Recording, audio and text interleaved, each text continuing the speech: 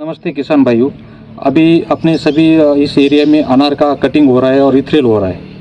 तो लगभग Ethrel cutting के और इथरेल के बीच में ज़्यादा अंतर ना रखें और जो आप बेसल डोज भर रहे हैं, उसमें ऑर्गेनिक मैटर कंपोस्ट गोबर का उपयोग ज़्यादा करें। और कंपोस्ट गोबर नहीं रहा तो आगे गड़ जलन की समस्या ज़्यादा बढ़ती है और हो सके तो फॉस्फोरिक एसिड वगैरह जैसी चीज़ें कम से कम इस्तेमाल कीजिए। आप जड़ गलन के लिए ट्राइकोडर्मा सूडो का इस्तेमाल ज़्यादा कीजिए, ताकि आगे आने वाली समस्या जो आती है अपनी टपके आना वगैरह, ये जड़ें अगर अपनी मज़बूत रही तो बहुत सारी बीमारियाँ कम आएगी। गए साल का आपको अनुभव हो गया है कि सब तरह के पेस्टिसाइड्स यूज़ करके भी अपनी बीमारियाँ कंट्रोल नहीं हुई थी। और देखने में आया कि जहाँ जहाँ जड़ें मज़बूत थी ऑर्गेनिक मैटर अच्छा था, वहाँ पे बीमारियाँ काफ़ी हद तक कंट्रोल हो गई नई के बराबर थी। इसलिए जैविक चीज़ों पे भी ध्यान दीजिए और अपना जो एन का शेड्यूल होता है, उस पर भी ध्यान दीजिए। जैसे आपका गए साल फास्फोरस ज़्यादा होने की वजह से प्रॉब्लम बढ़ी। आप थोड़ा सॉइल टेस्ट करके वगैरह आगे क्या क्या देना है, ये समय समय पे जाँच करते रहिए और आपका जो शेड्यूल है आगे क्या देना है, वो जाँच करके ही दीजिए। अंधाधुंध देंगे, उसमें अगर एन की मात्रा अप एंड डाउन ज़्यादा हो गई तो बीमारियाँ ज़्यादा आएगी। और आपके इथेल करते समय पेड़ का आपकी स्थिति कैसी रखी आपने? गर्मी में, इस साल गर्मी ज़्यादा थी।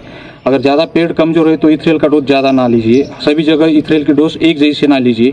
आपका पेड़, पत्ती क्या डिमांड कर रही है, उसी हिसाब से इथरेल का डोज रखिए।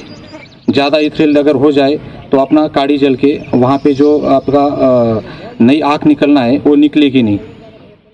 धन्यवाद। और लगभग जो आप खाद दे रहे, आपका अगर फ़र्स्ट क्रॉप है, जैसे अपना दो साल का या तीन साल का आप पहली फ़सल ले रहे तो कम से कम उसका तीस किलो गोबर होना चाहिए प्रति पौधा कंपोस्ट वाला। और अगर चार साल के, पाँच साल के पेड़ है तो एक पेड़ पे आपका कम से कम चालीस से पचास किलो गोबर जाना चाहिए। आपके ज़मीन में सबसे ज़्यादा जो कमी है, वो ऑर्गेनिक मैटर जो सेंद्रीय कर्प है, वो बहुत कम है।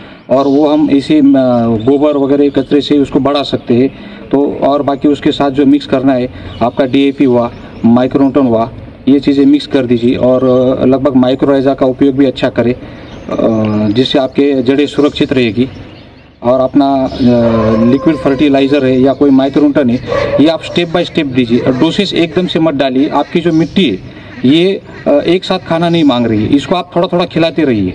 ये थोड़ा थोड़ा डोसेस अगर देते रहेंगे तो पौधा पर्याप्त मात्रा में उठाएगा।